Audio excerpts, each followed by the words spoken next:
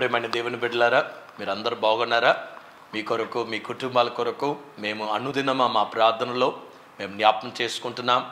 మీ అందరి కోసం ప్రత్యేకంగా ప్రార్థన చేస్తున్నాం. దేవుని యొక్క నిత్య సన్నిధి ఆయన దీవెనలు మీతోనూ మీ కుటుంబంతోనూ నిత్యము ఉండాలని నేను ఆశిస్తున్నాను. ప్రత్యేకంగా ఈ దినమందు నేను దేవుని యొక్క వాక్యాన్ని ధ్యానిస్తుండగా దేవుడు మనకి ఎందుకు కష్టాలు వస్తున్నాయి మనకి ఎందుకు శ్రమలు వస్తున్నాయి మనకి ఎందుకు ఇబ్బందులు వస్తున్నాయి? ఈ భూలోక యాత్రలో మనం ఎందుకు ఇన్ని పోరాటాలు? ప్రజలకు విరోధంగా ప్రజలు సమస్యలు ఇబ్బందులు ఏడుపులు బాధలు రోగాలు ఇలాంటి వాటి మధ్యలో దేవుడు ఎందుకు పంపిస్తున్నాడు? మనం చేస్తున్న ప్రార్థనలన్నీ ఏమైపోతున్నాయి? రాత్రి పగులు ప్రార్థన చేస్తున్నాం ఉపవాసం ఉండి దేవుని మొరపెడుతున్నాం. దేవుడు ఉన్నాడంటారా? దేవుడు ఉంటే ఎందుకు ఈ సమస్యలు ఈ బాధలు నాకే ఎందుకు ఇలా కలుగుతున్నాయి? అబ్బా పాపం చేస్తున్న వాళ్ళు బాగానే ఉన్నారు. పాపం చేసుకుంటూ లోకాన్ని దోచుకుంటూ మోసాలు చేసేవాళ్ళు ఇంకా బాగానే ఉన్నారు. వారి కుటుంబాలు మిద్దులు మేడలు కట్టేస్తున్నారు. వారు కూడా సమస్యలన్నీ కూడా లేనట్టుగా వాళ్ళు బాగానే బ్రతుకుతున్నారు. వారి యొక్క జీవిత లైఫ్ స్టైల్ చూస్తున్నప్పుడు నిజంగా చాలా బాగున్నారే. అయితే నేనెందుకు ఈ దీన పరిస్థితి? ఎందుకు ఈ కష్టము? ఎందుకు ఈ బాధ? ఎందుకు ఈ శ్రమ? ఎందుకు నా జీవితంలో నా కుటుంబ వ్యవస్థలో లేకుంటే మా యొక్క పరిస్థితులు బాగలేకపోవడం ఎందుకు అని కొన్నిసార్లు మనము కృంగిపోయేలాంటి పరిస్థితులకి వెళ్తుంటాం. అందుకని యేసు ప్రభు వారు మనకి ప్రత్యేకంగా ఆయన తెలియపరిచాడు. ఏమన్నాడంటే మీరు దేని గురించి చింతించకుడి అని చెప్పాడు. ఈ విషయంలో మనం ఆలోచించాలి. దేవుడు మనల్ని చింతించద్దు. ఏసై మనల్ని చింతించద్దు అన్నట్లయితే అది ఖచ్చితంగా అది ఒక ఆజ్ఞే ఉండాలి. అది దేవుడు మనతో పలికిన ఒక వాగ్దానమై ఉన్నది. వాగ్దానం అనేది దేవుడు మనకి ఖచ్చితంగా నెరవేరుస్తాడు అని మనం నమ్మాలి. చాలాసార్లు ఈ వాగ్దానముని మనం తీసుకోవడం చాలా కష్టంగా ఉంటుంది. ఎందుకంటే మన జీవితాల్లో అనేక కష్టాలు బాధలు శ్రమలు మనల్ని తాగుతుండగా కృంగిపోతున్న పరిస్థితి ఆలోచనల మీద ఆలోచనలు మనశ్శాంతి లేని పరిస్థితి మానసికమైన ఒత్తిడ తినలేని పరిస్థితి తిండున్నా తినలేని పరిస్థితి పడకున్నా నిద్రలేని పరిస్థితి రాత్రి పగుళ్ళు ఏమవుతుందని ఆందోళన ఏ వర్తమానం వస్తుందని ఆందోళన ఏ మెసేజ్ వస్తుందా ఏ ఈమెయిల్ వస్తుందా అయ్యో నా బ్రతుకేమైపోద్దా అనే భయము కుటుంబ వ్యవస్థలో భర్త భార్యల మధ్యలో కుటుంబస్తుల మధ్యలో కలుగుతున్న సమస్యలు. చాలామంది భర్త భార్యలు దూరమైపోవడం చేత అపవాది అనేక రకాలైన శోధనలు బాధలు వేదనలు అవమానాలు నిందలు మాటల తర్వాత మాటలు గాయతి గాయపరిచే మాటలు కృంగదీసే మాటలు ఇలాంటి పరిస్థితుల్లో కల్లా ఈ దినమందు మీరు వెళ్తున్నారా? అలాగైతే దేవుని వాక్యం మీతోనే మాట్లాడుతున్న దేవుని బిడ్డలారా. దేవుడు మనల్ని ఎన్నడూ చేయవేడవడని వాగ్దానం చేశాడు. భూమి ఆకాశం సృష్టించిన దేవుడు ఆయన ఇచ్చిన వాగ్దానం ఏంటంటే ఆకాశము భూమిను గతించిపోను కానీ నా మాటలు ఎన్నడూ గతింపవని వాగ్దానం చేశాడు. ఆయన మాటలు నిత్యము శాసనంగా ఉన్నాయి. ఆయన మారని దేవుడై ఉన్నాడు. ఆయన మాటిచ్చినట్లయితే ఆ మాట నెరవేర్చు వరకు అంట ఆ మాట మరలా దేవుని దగ్గర వెళ్దంట.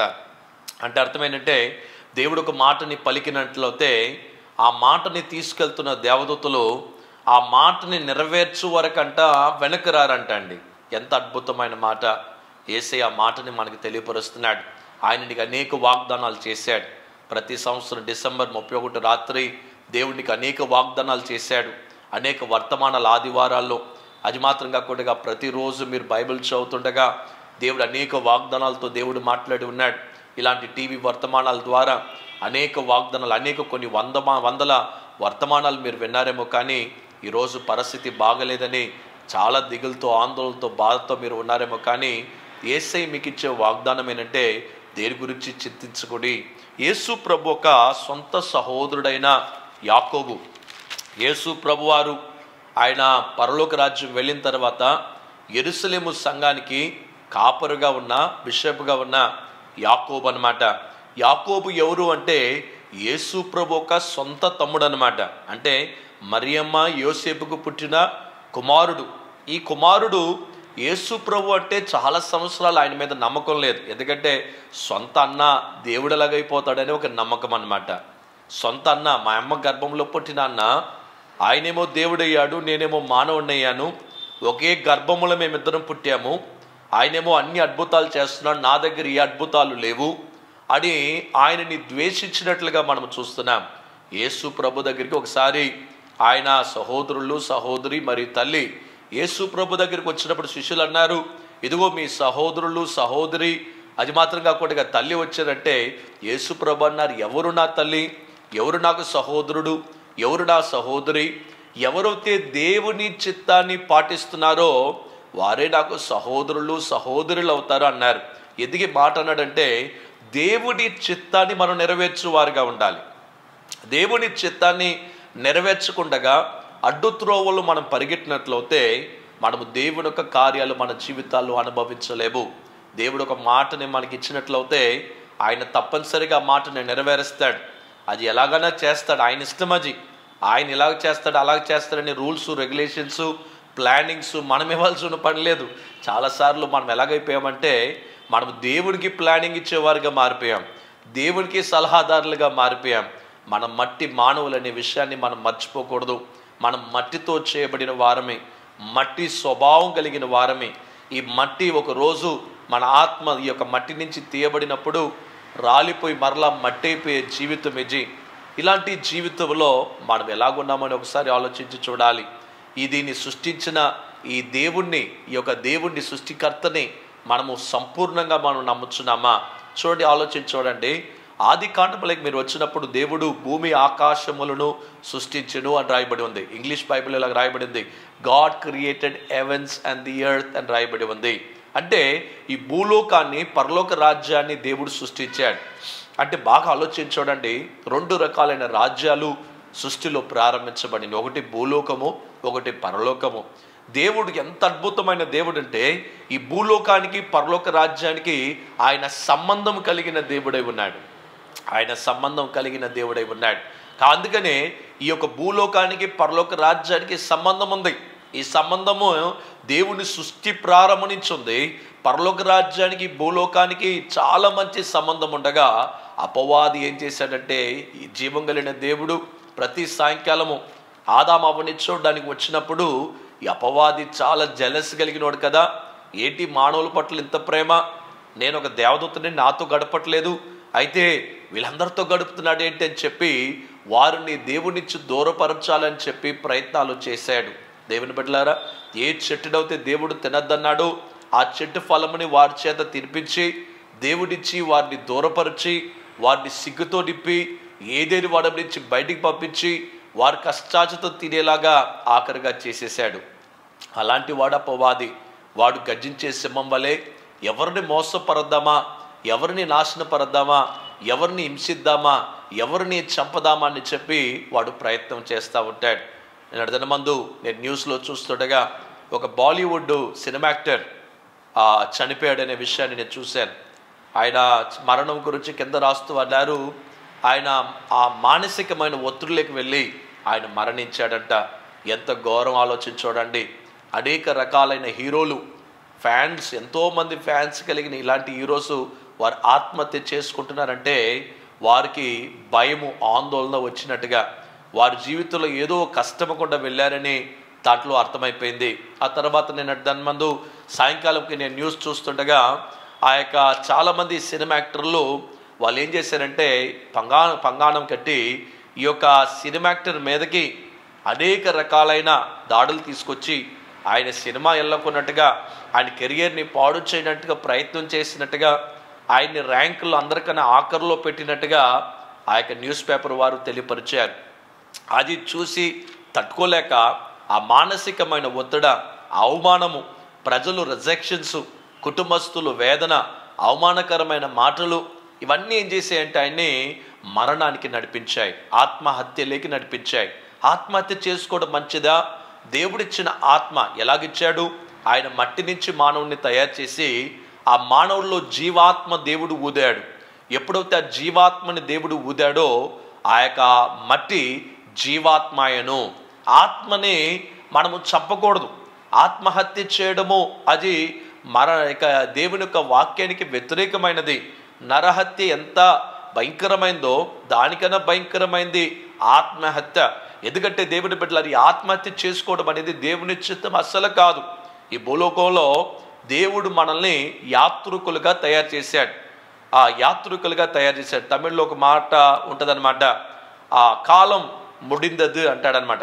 కాలం అయిటారు కాలం అయిటారు అంటే అర్థం ఏంటంటే ఆయన కాలం ముగించుకొని ఆయన యాత్రను ముగించుకొని ఆయన వెళ్ళిపోయాడండి అంటాడనమాట. మరణించాడు మృతి పొందాడు లేదంటే చనిపోయాడు అనే మాటలు వాడరు. వాళ్ళు వ్యత్యాసమైన మాట తమిళ్ళో అంటారనమాట. కాలం అయిటారు అంటే ఇంకా ఆయన జీవిత యాత్రని ముగించేశాడు. ఆయన యాత్రను ముగించుకొని ఆయన వెళ్ళిపోయాడు అనే మాటకి అర్థం అనమాట అంటే దేవుడు మనకిచ్చిన జీవితంలో దేవుడికి ఎంతకాలం అయితే మనం బ్రతకాలని ఆయన చిత్తము కలిగి ఉన్నాడో అంతకాలము మనము బ్రతకడానికి మనము ప్రయత్నం చేస్తూ ఉండాలి. అంతకాలము ఈ లోకములో పోరాటం ఉన్నది ఈ లోకములో శ్రమలు ఉన్నాయి ఆయనను మీరు ధైర్యం తెచ్చుకొనుడి. నేను లోకాన్ని జయించాను. కాబట్టి నేను ఒక కోచ్ని మీ అందరికీ నేను ఒక కోచ్ని ఈ కోచ్ అయిన నేను ఈ లోకాన్ని జయించినట్లుగా మీరు కూడా ఈ లోకాన్ని జయించాలి. ప్రతి కష్టములో బాధల్లో శ్రమల్లో వేదనలో మీకు వస్తున్న ప్రతి రకమైన కృంగదీసే మాటల్లో మీరు జయించే వారుగా ఉండాలి. రెండు మందు నేను ఒక వర్తమానం మాట్లాడుతూ అన్నాను we need to be a responder not a reactor అన్నాను. అంటే చాలాసార్లు మనం ఏం చేస్తుంటామంటే ఎవరైనా ఏదైనా అన్నారనుకోండి రియాక్ట్ అయిపోతూ ఉంటాం. కోప్పడము ఆవేశపడము లేకుంటే చేదైన స్వభావం కలిగి ఉండడము లేకుంటే వారిని ఆ యొక్క దెబ్బలు కొట్టడము లేకుంటే హింసించడము ఇలాంటివన్నీ చేస్తుంటాం కానీ దేవుని బిడ్డలైన మనము వీ నీడ్ బి రెస్పాండర్ అంటే చక్కగా మాట్లాడే వ్యక్తిగా ఉండాలి. ఆ యొక్క పని నైపుణ్యత కలిగిన వారిగా మంచి కమ్యూనికేషన్ స్కిల్స్ని మనం డెవలప్ చేసుకోవాలి. దేవుడి భూలోకంలో మనల్ని డెవలప్ చేయడానికి అనేక అవకాశాలు దేవుడిచ్చాడు మరణించడం అనేది దేవుడి వశమై ఉన్నది. దేవుని సమయం వచ్చినప్పుడు మరణము ఆటోమేటిక్గా మనకు వచ్చేస్తుంది. ఏదో ఒక సమస్య వస్తుంది ఏదో యాక్సిడెంట్ అవ్వచ్చు ఏదో ఒక రోగం రావచ్చు మనం మృతి పొందుతాము. అంతే మన జీవితం.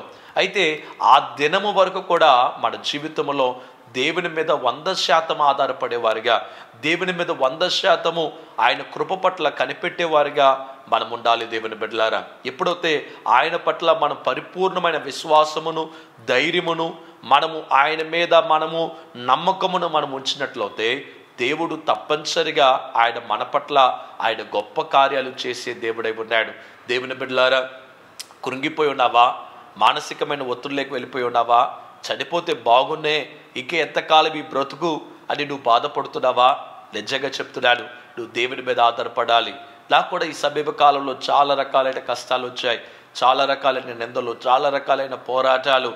ఎందుకంటే ఈ లాక్డౌన్ సమయంలో జీవితంలో ఎక్కడో ముందుకు వెళ్ళాల్సిన ఈ జీవితం ఇంకా వెనక్కి వెనక్కి వెళ్ళిపోవడము రోజు రోజుకి వెనక్కి సంఘం మొయ్యబడము విశ్వాసాలను దర్శించలేము ఏ మీటింగ్స్ లేవు ఎలాగా అంటే ట్వంటీ ఫోర్ అవర్స్ ఇంటిలోనే ఉండాలి. ఎంత గౌరవం ఆలోచించోడండి. ఇలాంటి సమయంలో నేను కూడా చాలా ఒత్తిడిలోకి వెళ్ళాను. చాలా బాధపడిపోయాను. మా యొక్క కుటుంబం అంతా కూడా చాలా బాధ కలిగి ఎందుకంటే ఆ యొక్క ట్వంటీ ఫోర్ అవర్స్ బిజీగా ఉన్న ఈ లోకంలో ఒకేసారి కట్టేసినట్టుగా అనిపించింది అనమాట అయితే కూడా మీరు ఒకటి అర్థం చేసుకోవాలి. ఇలాంటి సమయంలో కూడా దేవుడు మనకి ఏదో నేర్పిస్తున్నాడు. దేవుడు ఆయన ప్లాన్స్ ఆయన మనకు కలిగి ఉన్నాడు. ఆయన ప్రత్యేకమైన ఉద్దేశాలు ఆయన మన కొరకు ఉంచి ఉన్నాడనే విషయాన్ని మనం మర్చిపోకూడదు దేవుని బిడ్డలారా. ఆయన ఉద్దేశాలు మన పట్ల ఎప్పుడు కూడా మంచిదే ఉంటుంది. కాబట్టి మన జీవితంలో ఆయన పట్ల వంద శాతం నమ్మకం ఉంచేవారుగా ఉండాలి. వంద శాతం విశ్వాసం ఉంచేవారుగా ఉండాలి. ఎప్పుడైతే మన విశ్వాసము నమ్మకము పరిపూర్ణంగా దేవుని మీద ఆధారపడతామో దేవుడు మనకి ఆయన కృపను చూపిస్తాడు. చాలాసార్లు ఎలాగుంటుందంటే లోకంలో ఎన్నో తప్పులు చేస్తూ ఉంటారు మన చుట్టూ ఉండేవారు. వాళ్ళు తప్పులు చేసినప్పుడు సారీ అండి అని చెప్పినప్పుడు మనం క్షమించేస్తుంటాం. మనం అసలు వాళ్ళని బాధ పెట్టకూడదని ప్రయత్నం చేస్తుంటాం. కొన్నిసార్లు మన చుట్టూ ఉండే వాళ్ళు ఎలా ఉంటారంటే మనం ఎక్కడ తప్పులు చేస్తామా? మనం తప్పు చేసినట్లు అయితే వాళ్ళని సిలువేసే అంత మాటలు మాట్లాడడము కృంగదీసే మాటలు అవమానపరిచే మాటలు రకరకాలైన టైటిల్స్ మనకిచ్చి మనల్ని బాధపరిచేవారు చాలామంది ఉంటారు. కొన్నిసార్లు మనం వెన్నుపోటు పొడిచే వాళ్ళు కొంతమంది ఉంటారు. మనతో ఉండు మనకి గోతులతో వాళ్ళు చాలామంది ఉంటారు. దావిదు జీవితంలో అజయ్ నేర్పిస్తున్నాడు దావిదు. దావిదు జీవితంలో తనతో ఉన్న వారందరూ కూడా చాలామంది ఆయనకి ప్రేమించడం ఇంకా కొంతమంది ఆయనకి వ్యతిరేకంగా పనిచేసిన వారు ఉన్నారు. సౌలు రాజుగారు ఆయన జీవిత యాత్ర కొంతకాలం వరకు పరిగెట్టించాడు. ఆ తర్వాత దావీదు ఒక సొంత కుమారుడు ఆయనని వేధించాడు. ఇలాంటి కష్టాలు ఎందుకు అనుకోవచ్చు? ఇలాంటి బాధలు ఎందుకు అనుకోవచ్చు? రాత్రి పడక మీదకి వెళ్తుండగా రేమేపే రేపేమైపోద్దా నా జీవితానికి ఏ వర్తమానం వస్తుందా అని బాధపడుతున్నావేమో. సమీపకాలంలో ఒక బ్రదరు ఆయన భార్యతో చాలా కష్టాలు పడిపోతున్నాడు. ఆయన భార్యని చాలా ప్రేమించాడు. అయితే ఆ భార్య అర్థం చేసుకోకుండా వారి యొక్క అమ్మోలింటికి వెళ్ళిపోయింది. ఆయన ప్రతి రాత్రి పడుకున్నప్పుడల్లా ఒక భయం అనమాట అయ్యో రేపు నా జీవితం ఎలాగుంటుందో? నా భార్య నా బిడ్డలు విడిచిపెట్టేస్తారేమో? అయ్యో ఈ కృంగదీసి లోకంలో నా భార్య బిడ్డలు లేకపోతే ఎలాగా? దేవుడి ముందు నేను వాగ్దానం చేశాను కదా. నేను నా భార్యని ప్రేమిస్తానని నేను తప్పు చేశాను కోప్పడాను బాధ పెట్టాను లేదనట్లేదు. అయ్యో ఆవిడ ఎన్నో తప్పులు చేసినప్పుడు నేను క్షమించాను కదా. నన్ను క్షమించలేకపోతుంది. అయ్యో వాళ్ళ అమ్మోలింటికి వెళ్ళిపోయింది. ప్రతిరోజు గొడవలు ఎక్కువైపోతున్నాయి. ఏమవుతుందా? నా జీవితం ఏమైపోద్దా? అయ్యో రేపు ఉదయకాలానికి ఏం మెసేజ్ పెడుతుందా? ఏం ఫోన్ చేసి చెప్పద్దా? ఏం ఈమెయిల్ వస్తుందా? అయ్యో నేను రేపు నా భార్య నా బిడ్డలు ఉంటారో లేదో నాతో అనే ఆందోళనతో ఆయన బాధపడుతున్నాడంట. ఆ మాటలు విన్నప్పుడు నాకు చాలా బాధ కలిగింది. రాత్రంతా నిద్రపోవట్లేదు. రాత్రంతా ఆలోచనలు అయ్యో నేను ఇలాగ చేస్తుంటే బాగుండు కదా అలాగ చేస్తుంటే బాగుండు కదా ఆవిడ ఉన్నప్పుడు నేను ప్రేమించలేకపోయాను ఆవిడ ఉన్నప్పుడు ఇంకా జాగ్రత్తగా చూసుకుని ఉంటే నన్ను విడిచిపెట్టుండేది కాదు కదా ఈరోజు అందరు నన్ను విడిచిపెట్టేశారని చెప్పి ఆ సహోదరుడు ఆయన బాధపడుతుండగా ఆ బాధను చూసి నేను చాలా బాధపడాను. అంత బాధని ఆయన భరిస్తున్నాడు ఒంటరిగా భరిస్తున్నాడు. అసలు అందరూ ఆయనకి శత్రువులైపోయారు. ఇలాంటి పరిస్థితుల్లో దేవుని బిడ్డలారా ఆయనకి నేను ఒకటే చెప్పాను యేసు ప్రభు మీద నువ్వు వంద శాతము విశ్వాసం ఉంచాలి. యేసు ప్రభు మీద నువ్వు వంద శాతము నీ నమ్మకాన్ని ఉంచాలి. నీ హృదయాన్ని ధైర్యపరచుకోవాలి. కృంగతీసే మాటలు మాట్లాడచ్చు అవమానకరమైన మాటలు మాట్లాడచ్చు విడిచిపెట్టే మాటలు మాట్లాడచ్చు. కొంతమంది మీలో కుటుంబ సమస్యలు ఈ లాక్డౌన్లో చాలామంది వారి కుటుంబాల్లో సమస్యల్లోకి వెళ్ళిపోయారు. భర్త భార్యల మధ్యలో గొడవలు అవమానాలు నిందలు ఎంత గౌరవాలు వచ్చి చూడండి. అపవాది ఎన్నో కుటుంబాల్ని వీధిలోకి నడిపించేశాడు. నేను ఎడదని వద్దు. నేను అమలాపురం టౌన్కి వెళ్తుండగా ఆ పోలీస్ స్టేషన్ చుట్టూ జనమే. ఆ పోలీస్ స్టేషన్ చుట్టూ జనమే. ఎన్నో సమస్యలతో అక్కడికి వస్తున్నారు. ఎన్నో బాధలు ఎన్నో ఇబ్బందులు ఎన్నో డిస్ప్యూట్స్ ఎంతోమంది వేధించడం కొట్టడము అవమానపరచడము ఇవన్నీ అక్కడ తీసుకొచ్చి వారి దగ్గర సహాయం కోరడానికి వచ్చారు. దేవుని బిడ్డలారా దేవుని బిడ్డలైన మనము ఎవరి దగ్గరికి వెళ్తున్నాం మన కష్టాలకి? దైవదైన దగ్గర చెప్పి చెప్పి బాధపడిపోతున్నావా? అయ్యో నేను అయ్యో బంధుమిత్రులకు ఫోన్ చేసి చెప్పాను. ఎవరు నన్ను ఆదరించట్లేదే? ఎవరు నాకు ధైర్యపరచట్లేదే? ఈ ఒంటరి జీవితంలో నాకు ఎవరు తోడు లేరే అని నువ్వు బాధపడుతున్నావా? ఈ సమయమందు దేవుడు నీతో మాట్లాడుతున్నాడు. ఈ కష్ట సమయంలో నువ్వు ఒకటి గుర్తుపెట్టుకోవాలి. లోకమంతా నీకు వ్యతిరేకంగా ఉన్నా. నీ యొక్క ఒకవైపు పదివేల మంది ఇంకొక వైపు వెయ్యి మంది నీ పట్ల వ్యతిరేకంగా ఉండి వాళ్ళు కూలిపోయినా నీకు అపాయం రాదు అని దేవుడు వాగ్దానం చేస్తున్నాడు.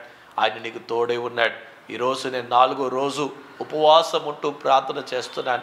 ఈ ఉపవాస యాత్రలో మీతో ఈ వర్తమానం మాట్లాడడానికి దేవుడిచ్చిన ఈ యొక్క మంచి సమయాన్ని బట్టి నేను దేవుని స్థుతిస్తున్నాను.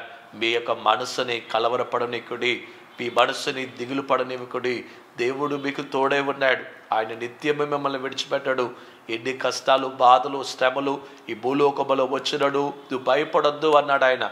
ఎన్నోసార్లు అన్నాడు. మూడు వందల అరవై ఐదు సార్లు భయపడొద్దు అనే మాటని ఆయన పలికాడు. ఎందుకంటే మనకు మూడు వందల అరవై ఐదు రోజులు ఉన్నాయి ఈ మూడు వందల అరవై ఐదు రోజుల్లో కూడా ఒక్కొక్క వాగ్దానము ద్వారా దేవుడు మనల్ని బలపరుస్తున్నాడు ధైర్యపరుస్తున్నాడు. ఆయన మనకి తోడే ఉన్నాడు దేవుని బిడ్డలారా. యేసు ప్రభు వారు జనసరిత అనే ప్రాంతానికి వెళ్తున్నప్పుడు భయంకరమైన తుఫాను వర్షము భయంకరమైన గాలి విసుత్తుడ సమయంలో ఆ పడవలో ఉన్న శిష్యులందరూ ఆందోళన పడిపోయారు. పడవలో నీళ్ళు నిండిపోతున్నాయి. ఆ యొక్క పాత్రలు తీసి ఆ నీళ్ళంతా బయట పోసినడు. ఇంకా ఎక్కువైపోతుందన్నమాట. అలాంటి సమయంలో యేసు ప్రభు వారిని లేపుతున్నారు. ఆలోచించండి వారు వెళ్ళింది పెద్ద షిప్ కాదు. ఆ వర్షము గాలి పడుతున్నప్పుడు యేసు ప్రభు మీద కూడా పడాలి. ఖచ్చితంగా పడి తీరాలి. వాళ్ళు వెళ్తున్న ఒక పడవ. ఆలోచించండి చూడండి ఎవరు ముఖం మీద నీళ్ళు చల్లామనుకోండి పడుకున్న వాళ్ళ మీద నీళ్ళు చల్లితే వాళ్ళు బాగా నిద్రపోతారా? చిన్నప్పుడు మా అమ్మ అలాగనే చేసేది. స్కూల్కి వెళ్ళాలి లేకమంటే లేకపోతే నీళ్ళు తీసుకొచ్చి మొగం మీద చల్లేదనమాట ఆ జల్లినప్పుడు అనిపించేది. అసలు ఆ ఉలుకుపడి లెగిసిపోయేవాళ్ళం అనమాట కాబట్టి ఆ వెంటనే లెగిసిపోతాం. ఆలోచన చూడండి తుఫాను వర్షం వస్తుండగా యేసు ప్రభు వారు ఆయన కళ్ళు మూసుకున్నాడంటే ఆయన నిద్రపోవట్లేదు. ఆయన సమయం కొరకు ఆయన కనిపెడుతున్నాడు. ఆయన సమయంలో నీకు అద్భుతం చేయడానికి కనిపెడుతున్నాడు. ఇంకా కొంచెం కష్టం రానివ్వండి ఇక కొంచెం బాధ రానివ్వండి ఇక కొంచెం వేదన రానివ్వండి ఇక కృంగదీసే వాళ్ళు కృంగదీయనివ్వండి అవమానపరిచే వాళ్ళు అవమానపరచనివ్వండి వేదన పరిచే వారు వేదన పరచనివ్వండి మోసం చేసే వాళ్ళు ఇంకా కొంచెం మోసం చేయనివ్వండి. ఎందుకంటే దేవుడు తన జీతాన్ని మన పట్ల తీసుకురాబోతున్నాడు. దేవుడు న్యాయం చేస్తాడండి. దేవుడు ఎన్నడూ ఆయన అన్యాయం చేసే దేవుడు కాదు. ఆయన అబ్రహాముకి ఇచ్చిన వాగ్దానమును బట్టి ఇసాక్కి యాకోబుకి అలాగ తరం వెంబడి తరము ఆయన వాగ్దానాలు నెరవేర్చగలిగిన దేవుడై ఉన్నాడు. అంత గొప్ప దేవుడు నీకు తోడుగా ఉండగా నువ్వు ఎందుకు భయపడుతున్నావు? ఎందుకు దిగులు పడుతున్నావు? ఎందుకు జడియుతున్నావు? ఇంతకాలము దేవుడిని నడిపించలేదా? ఇంతకాలం దేవుడు నిన్ను పోషించలేదా? ఇంతకాలం నిన్ను అనేక రకాలైన కష్టాలు బాధలు శ్రమలు వేదన రోగాల మధ్యలో దేవుడు నిన్ను తప్పించలేదా? అనేక సార్లు హాస్పిటల్ అడ్మిట్ అయినప్పుడు దేవుడు నిన్ను స్వస్థపరిచి ఇంటికి తీసుకురావట్లేదా? ఈ వైరస్ కోసం ఎందుకు భయపడుతున్నావు? నీ దేవుడు నిన్ను విడిచిపెట్టాడు కదా. ఒకవేళ వైరస్ వచ్చినా కూడా ఆయన నిన్ను విడిచిపెడతాడు అనుకుంటున్నావా? భయపడద్దు దేవుని బిడ్డలారా. మన దేవుడు ఆయన గొప్ప దేవుడై ఉన్నాడు. ఆయన చేయబడమని దేవుడై ఉన్నాడు. నువ్వు ఆయన పట్ల నీ విశ్వాసం ఉంచిన ఎడలా ఆయన తప్పనిసరిగా ఆయన నీ కొరకు అద్భుతం చేసేవాడై ఉన్నాడు. యాకోబు జీవితంలో యాకోబు యేసు ప్రభు ఒక సహోదరుడు ఇలాగంటున్నాడు ఏమంటున్నాడు చూడండి. James a servant of God and of the Lord Jesus Christ to the twelve tribes which are scattered abroad greetings అంటున్నాడు. ఏమంటున్నాడు?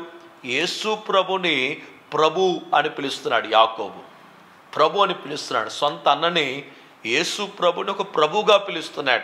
రెండవ వచ్చిన అంటాడు my brother count it all joy when you fall into divide temptations అంటున్నాడు. When you fall into trials అంటున్నాడు. ఆలోచించి చూడండి. Count Joy లెక్క పెట్టమంటున్నాడు. ఏం లెక్క పెట్టాలి? ప్రతిసారి నీకు కష్టం వచ్చినప్పుడల్లా లెక్కలు పెట్టేసుకోండి. అయ్యో పలానా వ్యక్తి మాట అన్నాడా? ఒక లెక్క రాసుకోండి. పలానా సమయంలో నీకు మోసం చేశాడా? ఒక లెక్క రాసుకోండి. నేను అవమానపరిచారా? లెక్కలు రాసుకోండి. నీకు ఆ యొక్క నష్టం కలిగిందా? రాసుకోండి. నిన్ను నీ భర్త వ్యతిరేకంగా మాట్లాడా రాసుకోండి. నీ భార్య నిన్ను ప్రేమించట్లేదా? రాయండి. ఇవన్నిటికీ ఆయన మనకి సంతోషాన్ని కలగచేస్తాడట. సంతోషాన్ని కలగజేస్తాడు. కౌంట్ ఇట్ ఆల్ జాయ్ అంటున్నాడు. సంతోషంని కలగచేసే దేవుడు. నీ కష్టం మధ్యలో దేవుడు అద్భుతం చేస్తాడు. నేను చదువుతా ఉన్నాడు యో యొక్క యోహాను సువార్తలో పదహారు అధ్యాయం ఇరవై వచ్చంలో మనం చదివినట్లయితే అక్కడ యేసుప్రభు అంటున్నాడు very verily I say to you that you shall weep and lament but the world shall rejoice you shall be sorrowful but your sorrows will be turn into joy అంటున్నాడు నీకు బాధ వేదన దుఃఖం కలిగినప్పుడు ఈ లోకం నేను అవమానపరుస్తుంది. లోకం అన్ని రకాల నిందలు వేస్తుంది. దేవుడే వీడికి ఇలాగ చేశాడు వీడు ఏం పాపం చేశాడో ఈ లోకం ఎలాగంటే అన్నీ బాగుంటే దేవుడు వారి పట్ల చల్లగా ఉన్నాడని అర్థం అనమాట ఏదైనా చిన్న సమస్య వచ్చింది అనుకోండి ఏమంటారంటే వీడు భయంకరమైన పాపం చేశాడు అందుకని ఈ ఘోరమైన శిక్ష వచ్చింది అనుకుంటారు చాలా తప్పు దేవుని బిడ్డలారా. కొన్నిసార్లు ఏ పాపం చేయకపోయినానో శిక్షను అనుభవిస్తారు చాలామంది.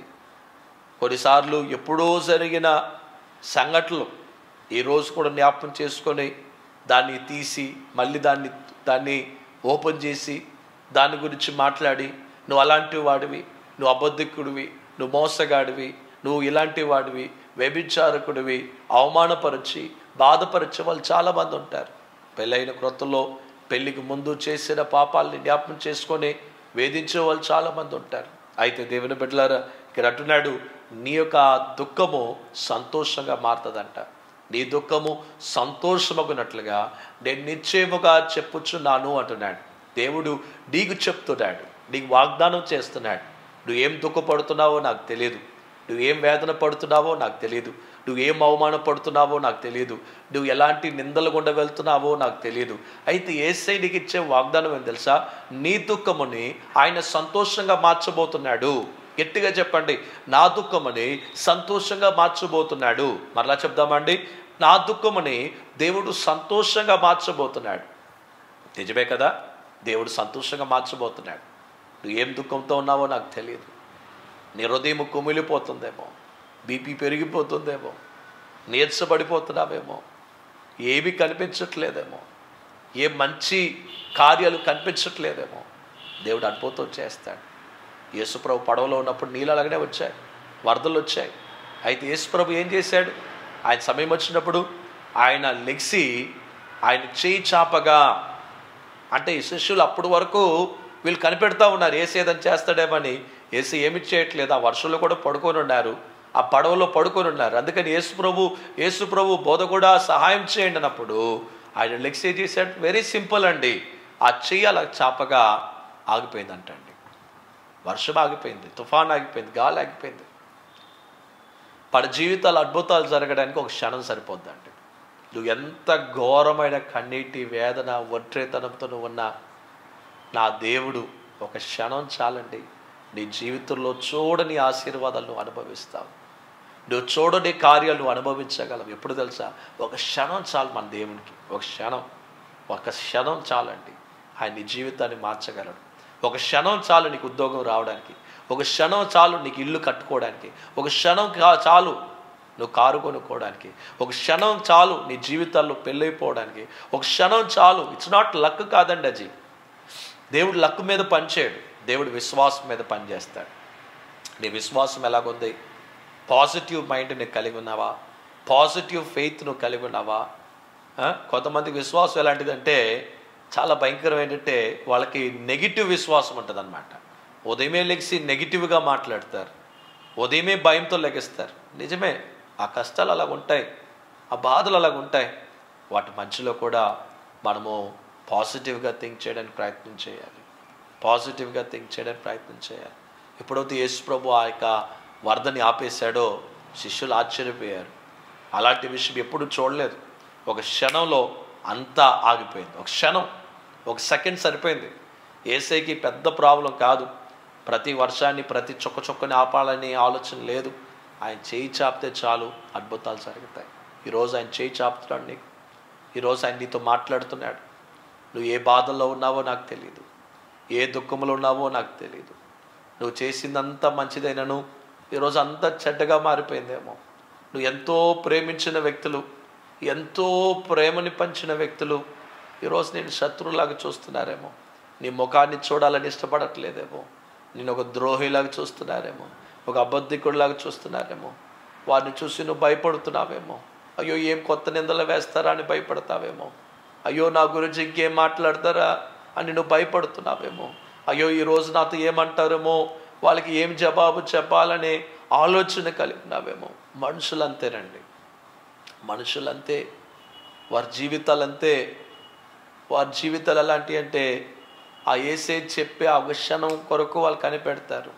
ఆ క్షణం తర్వాత వాళ్ళ జీవితాలు మార్చుకుంటారు. మన బాధ కూడా మారిపోతుంది. అందుకని యోహన్ సువార్త పదహారు అధ్యాయంలో అంటాడు ఒక బిడ్డ పుట్టినప్పుడు అంట ఆ తల్లి గర్భవేదన పొందుకుంటుందంట. ఇరవై ఒకటో వచ్చంలో రాయబడి ఉంది. యోహన్ సువార్త పదహారు అధ్యాయం ఇరవై ఒకటో వచ్చంలో రాయబడి ఉంది. ఆ యొక్క తల్లి గర్భవేదన పొందేటప్పుడు ఆ వేదనలు ఏం చేస్తుందంటే ఆవిడ అరుస్తూ ఉంటుంది అనమాట కేకలు వేస్తూ ఉంటుంది.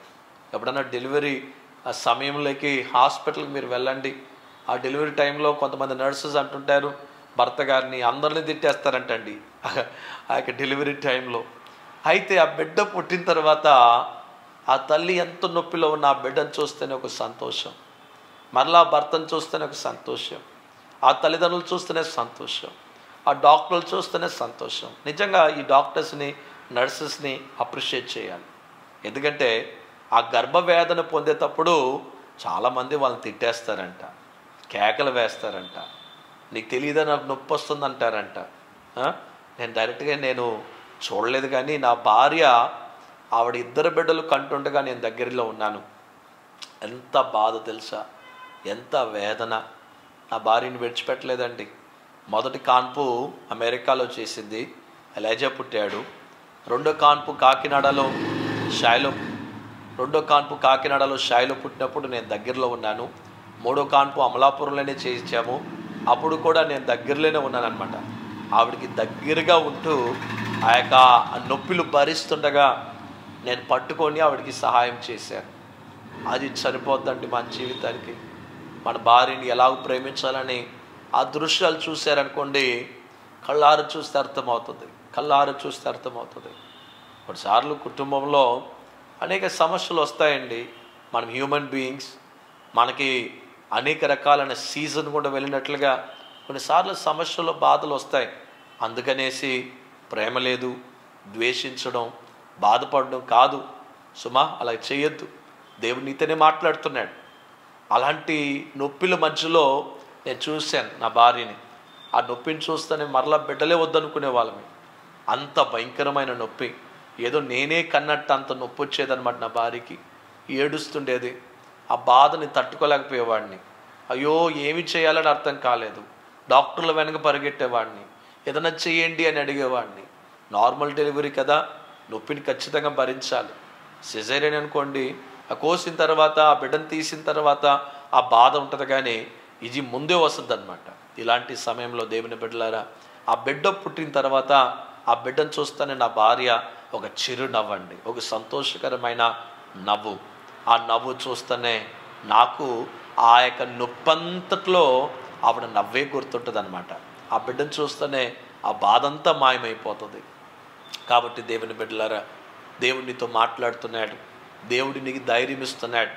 నీకు ఈరోజు కష్టం ఉందని నువ్వు బాధపడుతున్నావేమో భయపడద్దు. ఎందుకంటే దేవుడు నీకు అద్భుతం చేయబోతున్నాడు.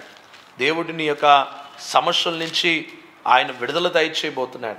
నీ బాధల నుంచి ఆయన విడుదల దయచేయబోతున్నాడు. కాబట్టి మూడో వచ్చిన అంటాడు యో యాకోబు పత్రిక మొదటి అధ్యాయం మూడో వచ్చిన అంటాడు knowing this that the trying of your faith works patience అంటున్నాడు నాలుగో వచ్చిన అంటాడు but let the patience have be have her perfect work that ye may be perfect and entire wanting nothing if you are lack of wisdom let him ask God that gives to all men liberally upon a braid not it shall not be given to him ఐదవ వచనంలో మనము చూసినట్లయితే మనం జ్ఞానము అడగాలంట. దేవుడికి జ్ఞానం అడగాలి దేవుని దగ్గర అడగాలి. సాలమోన్ అజ్జ అడిగాడు. సాలమోన్ ఏమన్నాడు? నాకు అజ్జి కావాలి ఇజ్జి కావాలి అనలేదు. సాలమోన్ దేవుని అడిగాడు దేవా నాకు జ్ఞానమును దయచేయి. నాకు జ్ఞానమును దయచేయి. నాకు తెలివిని దయచేయి. అని దేవుడిని అడిగాడు. నువ్వు కష్టాల్లో ఉన్నప్పుడు తెలివిని అడగాలి దేవుణ్ణి. బాధల్లో ఉన్నప్పుడు దేవా దీన్ని ఎలాగ నేను ట్యాకల్ చేయగలిగినట్లుగా నాకు సహాయము చేయమని అడగాల. ఎప్పుడైతే నువ్వు అడగతావో దేవుడు తప్పనిసరిగా ఆయన నీ పట్ల అద్భుతం చేస్తాడు. ఆయన తప్పనిసరిగా నీ పట్ల ఒక ఆశ్చర్యమైన కార్యాన్ని ఆయన చేయడానికి ఆయన ఇష్టపడుతున్నాడు. ప్రేమైన దేవుని బిడ్డలారా మీరు ఎక్కడి నుంచే కావచ్చు ఈ వర్తమానం వింటుండొచ్చు. ఈ యొక్క వర్తమానం ద్వారా మీరు బలపరచబడారని నేను నమ్ముచున్నాను. మీరు ధైర్యపరచబడారని నమ్ముచున్నాను. కష్టాలు వచ్చేసాయని చెప్పి సారాయి కొట్టుకు వెళ్ళొద్దండి. కష్టాలు వచ్చేసాయని చెప్పి డ్రగ్స్ తీసుకోవద్దండి. కష్టాలు వచ్చేసాయని ఈ ఈజీ మార్గాలు వెతకద్దండి. కష్టాలు వచ్చేసేయని మనుషులు వెనక పరిగెట్టద్దండి. కష్టాలు వచ్చేసేయని అడ్డు త్రోవలు పరిగెట్టద్దండి. కష్టాలు వచ్చినప్పుడు ఏసై దగ్గర రండి. ఏసయ్యే మీకు జవాబిస్తాడు. ఏసయ్యే మీకు మంచి ఆలోచనలు ఇస్తాడు. ఏసయ్యే మీకు సహాయకుడిగా ఉంటాడు. ఏసయ్యే మీకు తోడుగా ఉంటాడు. ఏసయ్యే మీకు సమస్తమును ఆయన మంచిది చేసే దేవుడై ఉన్నాడు. కాబట్టి దేవుని బిడ్డలారా ఈ యొక్క బాధలో ఉన్నప్పుడు సాధారణంగా ఏమవుతుందంటే తాగుడు తాగితే బాగుంటుంది అనుకోవచ్చు ఆ తాగుడు కాసేపే ఆ మత్తున్న వరకునే ఆ? మత్తుండే వరకునే ఆ తర్వాత ఏముండదు నా కాలేజ్ లైఫ్లో నేను ఏం చేసేవాడిని అంటే వెళ్ళి నా స్నేహితులతో కొన్నిసార్లు తాగేవాడిని అనమాట అలాగే తాగుతుండగా నాకు ఆ మత్తున్న వరకునే ఆ బీర్ తాగినప్పుడు ఆ మత్తున్న వరకునే ఆ తర్వాత మత్తు తెగిపోయిన తర్వాత ఏముండదు ఆ? ఆ తర్వాత దేవునికి అప్పగించాను దేవా నేను మళ్ళీ తాగను అని చెప్పి దేవునికి అప్పగించిన తర్వాత మరలా నేను ముట్టలేదు అలాగనే దేవుని బిడ్డలారా మనము దేవునికి అప్పగించాలి. మన సమస్యలు అడ్డుత్రోవలు కాదు. తాగుడు మనల్ని కాపాడలేదు. లేకుంటే వేరే రకమైన తలంపుల మీద మనం పనిచేయలేము. కొన్నిసార్లు భార్యని మనల్ని ప్రేమించట్లేదని లేకపోతే నీ భర్త నిన్ను ప్రేమించట్లేదని చెప్పి వేరే ఒక వ్యక్తిని ప్రేమిద్దామనే అడ్డుత్రోవలు పరిగెట్టద్దు. అది ప్రేమ కాదు. అది దేవుని వాక్యానికి వ్యతిరేకమైంది. దేవుని వాక్యానికి వ్యతిరేకమైన ఏ రిలేషన్షిప్ అని కావచ్చు అది ఆశీర్వాదం కలగచేది కానీ అది బాధను శాపమును కలగచేస్తుంది. ప్రారంభంలో బాగానే ఉంటుంది. భర్తగారు లాగానే కనిపిస్తాడు. భార్యలాగానే కనిపిస్తుంది. వెళ్ళే వెళ్ళే కొలది అది మనకి నాశనాన్ని కలగచేస్తుంది. వెళ్ళే కొలది వెళ్ళే కొలది ఎందుకు ఈ పాపం చేశామని బాధని కలగచేస్తుంది. కాబట్టి దేవుని బిడ్డలారా ఏసై మీద మీరు ఆధారపడండి. ఏసై మీద నమ్మకం ఉంచండి. ఆయన మీ పట్ల గొప్ప కార్యమని ఆయన చేస్తాడు. ఈ సమయంలో ఒకసారి మీరు తలలు వంచుతారా? కళ్ళు మూస్తారా? మనం ప్రార్థన చేసుకుందాం. మనం మనసు తెరిచి ఈ సమయంలో దేవునితో అడగండి. మనసు తెరిచి మాట్లాడండి. ఏసయ్య నాకు ఈ సమస్య ఉంది. ఏసయ్య నాకు ఈ బాధ ఉంది. నేను తట్టుకోలేకపోతున్నాను. అయితే నీ మీద మాత్రం నాకు నమ్మకం ఉంది. నీ మీద మాత్రం నాకు విశ్వాసం ఉంది. నా పట్ల నిశ్చిత్తమని నీ చిత్తం పరలోకంలో ఏమై ఉందో దాని భూలోకంలో నా పట్ల మీరు నెరవేర్చండి అని ఏసైని మీరు అడిగినట్లయితే ఏసై వెంటనే నీకు అద్భుతం చేస్తాడు. ఆశ్చర్యమైన కార్యం చేస్తాడు. నేను మరలా మిమ్మల్ని కలిసినప్పుడు నేను తప్పనిసరిగా దేవుడు పలానా అద్భుతం చేశాడండి. మీ వర్తమానం విన్నాను. నా బ్రతుకులో మార్పు వచ్చింది. నా జీవితంలో మంచి రిజల్ట్స్ వచ్చాయండి అని మీరు చెప్తారండి. తప్పనిసరిగా చెప్తారు. దేవుడు అలాంటి కార్యం నీ పట్ల చేస్తాడు. ఆయన గొప్ప కార్యం చేసేవాడే ఉన్నాడు. ప్రేమైన దేవుని బిడ్డలారా ఈ సమయంలో మనం ప్రార్థనలు గడపదాం. కొద్ది నిమిషాలు ప్రార్థనలు గడపండి. నోరు తెరిచి మాట్లాడండి. ఒకవేళ ప్రయాణం అవుతున్నారేమో లేకపోతే ఎక్కడో కూర్చొని ఈ వర్తమానం వింటున్నారేమో ఎక్కడో లైవ్ చూస్తున్నారేమో యూట్యూబ్ ద్వారా చూస్తున్నారేమో ఫేస్బుక్ ద్వారా లేదా ఇన్స్టాగ్రామ్ ద్వారా మీరు ఎలా చూస్తున్నా ఈ సమయంలో ఒక్కసారి మీ మనసు అంతటిని ఏసై దగ్గర మీరు అప్పగించినట్లయితే ఏసై నీ పట్ల ఆయన అద్భుతం చేస్తాడు. ప్రార్థన చేసుకుందామా? పరమ తండ్రి నీకు వందనాలు. నీ బిడ్డలు ప్రభా వారు ఎన్నో కష్టాలు కూడా ఉన్నారు. వారి మనసంతా బాధల్లో ఉన్నారు. మొయ్యలేని బాధ. మీ సమస్త భారమును నా మీద మోపమన్నావు. ప్రభా కొన్నిసార్లు మానవులు కాబట్టి నీ మీద మోపి కొంత మేమే మోస్తున్నట్టు కనిపిస్తుంటుంది. అయితే ప్రభా ఈ సమయంలో వంద శాతము మా భారమంతా నీ మీద మోపుతున్నాం. మా కష్టాలన్నీ మీ మీద మోపుతున్నాం. నీ బిడ్డల్ని ప్రభా వారి జీవితాల్లో మీరు అద్భుతం చేయమని ప్రార్థన చేస్తున్నాను వారి జీవితాల్లో మీరు ఆశ్చర్యమైన కార్యమని మీరు చేయమని ప్రార్థన చేస్తున్నాం. వారి జీవితంలో ఎన్నడూ చూడని గొప్ప కార్యములు మీరు చేయమని ప్రార్థన చేస్తున్నాం. నువ్వు విమోచకుడువు గొప్ప దేవుడువు సజీవుడువు ఆశ్చర్యమైన కార్యాలు చేసే దేవుడువు. నీ బిడ్డల పట్ల గొప్ప ఆశ్చర్యమైన కార్యాలు మీరు చేసి మీరు మహిం పొందమని ప్రార్థన చేస్తున్నాం. ఇదనమందు ఈ యొక్క కార్యక్రమాన్ని వీక్షిస్తున్న ప్రతి సహోదరుని సహోదరిని మీరు ఆశీర్వదించి వీరిని మీ ఆత్మ చేత నింపి నడిపించి బలపరిచి మీ కార్యములు వారి కుటుంబం పట్ల మీరు చేసి మీరు మహిమ పొందమని ఏసు నామందు ప్రార్థించి వేడుకుంటున్నాం తండ్రి. Amen amen amen. Thank you very much ఈ వాక్యం విన్నారు. దాన్ని బట్టి నేను దేవుని స్థుతిస్తున్నాను. దేవుని వాక్యము చేత మీరు బలపరచబడి ఉన్నారని నేను నమ్ముచున్నాను. ప్రియమైన దేవుని బిడ్డలారా ఈ వీడియోని కొంతమందికి షేర్ చేయండి. వాట్సాప్ ద్వారా ఫేస్బుక్ ద్వారా ఇతరులకి పంపించండి. వారిని బలపరచండి.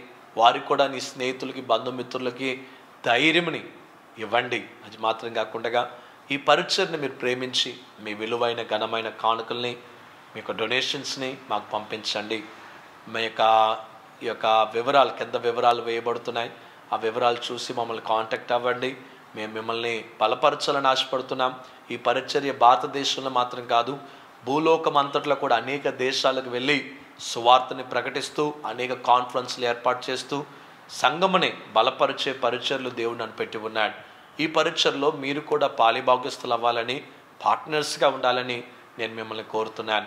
మీరు ఇంతవరకు చేస్తున్న ఈ యొక్క బలపరుస్తున్న ఈ యొక్క పరిచర్ల కొరకు మీకు ప్రత్యేకమైన వందనాలు. ఇంకనూ మీరు ఈ యొక్క పరిచర్లో మీ విత్తనాలు విత్తి దేవుని మీరు మహిమపరచాలని నేను మిమ్మల్ని ప్రేమతో కోరుతున్నాను. మన పరిచర్ల కొరకు ఇంకనూ బలంగా ప్రార్థన చేయండి. నా కోసం నా కుటుంబం కోసం మీ అనుదిన ప్రార్థనలో జ్ఞాపకం చేసుకోండి. దేవుడు మిమ్మల్ని మీ కుటుంబాన్ని ప్రత్యేకంగా ఆశీర్వదించునుగాక. Amen amen amen. God bless you.